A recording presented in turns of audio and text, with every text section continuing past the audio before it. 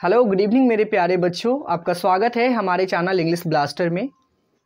आज का वीडियोस काफ़ी इंपॉर्टेंट रहने वाला है बच्चों।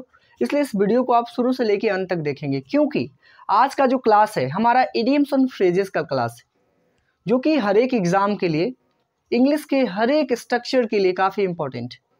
जैसे आपको इंग्लिश बोलनी सीखनी हो, या फिर आपको अपना वोकैब स्ट्रांग करना हो तो इन सब चीज़ों के लिए ये जो इडियम्स एंड फ्रेजेज है ये काफ़ी इंपॉर्टेंट होता है। इसलिए चलिए एक एक करके उनको हम देखते हैं।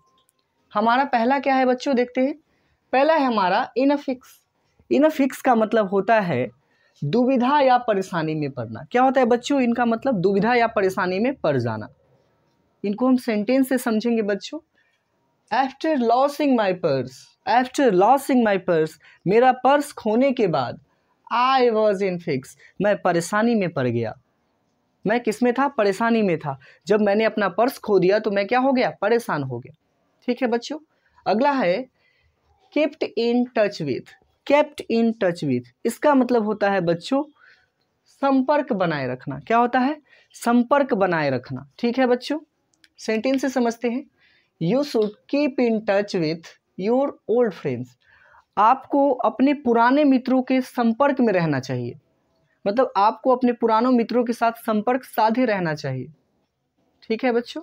नेक्स्ट है हमारा लीक आउट लीक आउट का मतलब होता है बच्चों, रहस्य का खुल जाना, या भेद का खुल जाना बोल सकते हैं, या किसी चीज़, कोई चीज़ एकाएक प्रकट हो जाना।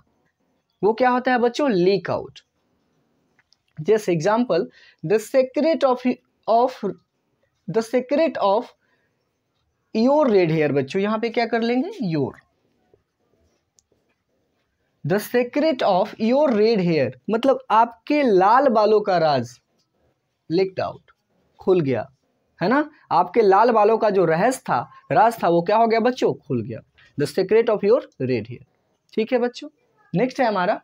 ब्लैक आउट ब्लैक आउट का मतलब होता है बेहोश हो जाना. क्या होता है बच्चों? बेहोश हो जाना बोल सकते हैं हताश हो जाना. है ना? बेहोश हो जाना. एग्ज़ाम्पल देखेंगे. She black out after seeing the snake वह बेहोश हो गई। कब? सांप को देखकर। वह सांप को देखकर क्या हो गई बच्चों? बेहोश हो गई। अगला देखेंगे हम अपना। लॉन्ग फोर लॉन्ग फोर का मतलब क्या होता है बच्चों? तीव्र इच्छा रखना या किसी चीज़ के लिए तरस जाना। उसी को हम इंग्लिश में क्या बोलते हैं? लॉन्ग फोर इसका अर्थ होता है तरस जाना। एग्ज़ाम्पल देखते हैं बच्चों। Gudiya is longing for eating pizza मतलब गुड़िया पिज़्ज़ा खाने के लिए तरस रही है। क्या खाने के लिए? पिज़्ज़ा खाने के लिए। लॉन्गिंग फॉर ठीक है?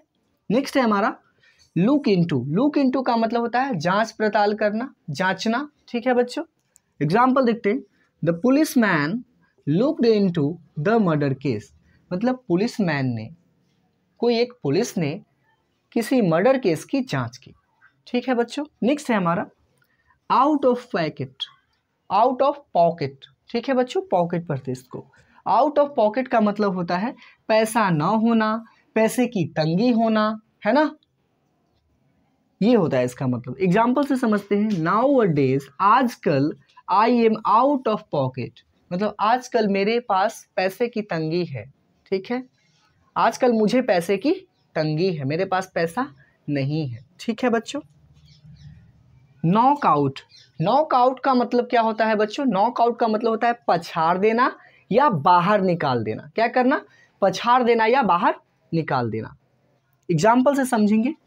The England knocked out from the world cup मतलब इंग्लैंड को द इंग्लैंड इंग्लैंड को नॉकड आउट कर दिया गया फ्रॉम द वर्ल्ड कप किससे? वर्ल्ड कप से। मतलब इंग्लैंड को वर्ल्ड कप से बाहर कर दिया गया। ठीक है बच्चों? आशा है कि आप सारे टॉपिक्स को, सारे एडियम्स को अच्छे से समझे होंगे बच्चों। अगर आपको वीडियो अच्छा लगा हो तो आप लाइक करें सब्सक्राइब करें और कमेंट भी करें। ठीक है? और हमारा सहयोग करें बच्चों। डैट्स ऑल जय हिंद, जय भारत।